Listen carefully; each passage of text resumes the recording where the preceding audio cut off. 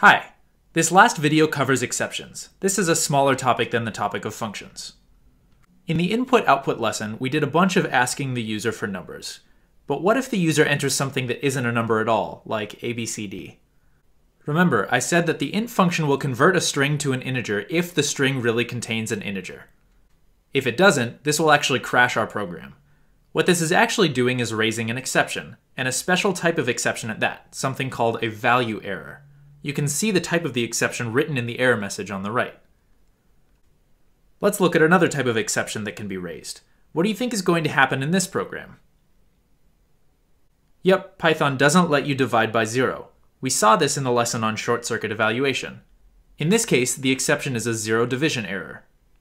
And once again, it causes our program to stop dead in its tracks. There are a couple new concepts in this video. The first you've already learned about. Exceptions. Exceptions are runtime errors in a program. By default, they stop the program. Python has a way of letting programmers handle exceptions, and this is try and except. Try and except are programming constructs that can be used to gracefully handle exceptions so that a program can continue in spite of them. Here's the program from the last example with try and except thrown in. Here's the way it works. If you have some code that might raise an exception, you can put it inside what's called a try block. You then follow it with an except block, which specifies the type of exception you want to handle. The block contains code that will run if an exception is raised. Let's step through this. First, we ask the user for a numerator and they enter 10. Then we ask them for a denominator and they enter 0. Now we enter the try block. Since the try block is paired with an except block that can handle a zero division error, the interpreter will jump straight to the except block if a zero division error happens. The interpreter tries to evaluate this division expression in order to assign to quotient. And oh no, a zero division error exception is raised. The interpreter skips the rest of the try block and goes straight to the exception block. Then the print in the exception block runs, and the interpreter can continue as normal. Going back to this example, let's use try and except to make sure the error is handled gracefully. Here's an almost complete version of the program. We just need to fill in what type of exception we want to handle. It's not zero division error, that won't work this time. In fact, if we use zero division error, since that type of exception is never raised, and another type of exception is raised, it's basically like we didn't use try and except at all. Look at the error message. What we should be handling is value error. Now, when the user enters letters and the value error exception is raised, the interpreter can jump to our except block, which comes in and saves the day. The print executes and the program can continue as normal. In this module, we've seen a number of programs in which the interpreter doesn't move sequentially, it jumps around. Exceptions are another way in which the interpreter can jump in a non-sequential manner.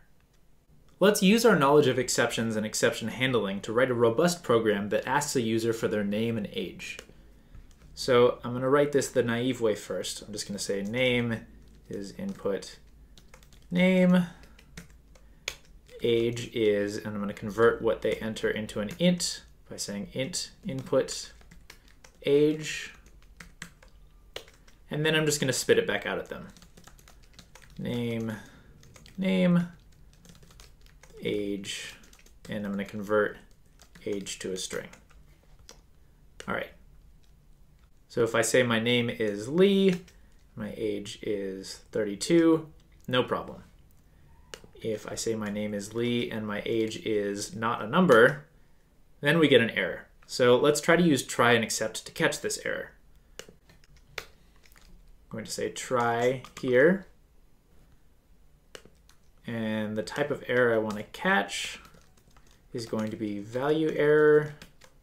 And in this case, I'm going to print age must be a number. All right, let's try this. Name Lee, age 32. Okay, that still works. Name, Lee, age, bunch of letters. Okay, so it prints age must be a number, and it successfully prints the name back out at us, but then it has an error right here. It says age is not defined on line 8. Now, we could make another try except that handles name error, but instead, let's just give age a default value of negative 1 and if we do this, we know that if negative 1 appears in the output, that means that the age that was entered was invalid. So let's try this. Let's do Lee and 32 again to make sure that still works. Now let's do Lee and not a number. and it says age must be a number, and it successfully prints back out the name, and age is negative 1. Now let's add some comments. This program retrieves the user's name and age. Retrieve the name. No need for exception handling. Here we'll say default value for age. Retrieve the age and handle case where the user does not enter a valid number. And then finally print